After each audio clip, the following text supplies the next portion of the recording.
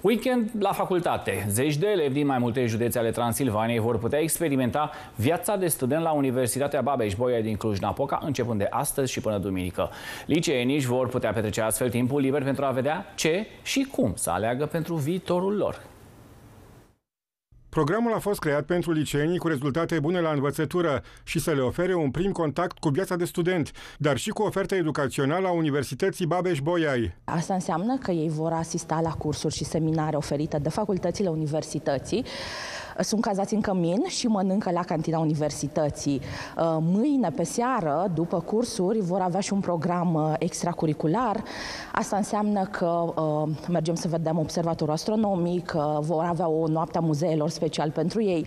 Și nu e puțin lucru să poți vedea în avans cum e viața de student, dacă te atrage sau dacă le este de ajutor în decizia pe care urmează să o ia în ceea ce le privește viitorul.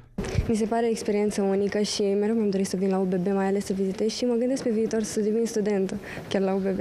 La ce ai dorit să fii studentă? La Facultatea de Matematică și Informatică cu specializare de inteligență artificială. Cum crezi că vor fi cele patru zile petrecute aici? De neuitat. Mi se pare o experiență foarte tare. Eu consider că ar putea să facă o chestie și mai îndelungată, adică o săptămână să trăiești la modul experiența de student, cu orar, cu tot, cu program, să vezi exact cum e acolo, însă mi se pare mult mai ușor pentru că automat tu știi, vezi, ai anumite cursuri unde poți să te duci să urmărești toate potențialele și să alegi ceea ce este mai bun pentru tine. Unii profesori însoțitori ai viitorilor studenți au făcut și ei studiile la Cluj și spun că revin acolo cu bucurie. Suntem pentru a patra oră prezenți la acest proiect, întotdeauna cu o energie pozitivă și o foarte bună organizare.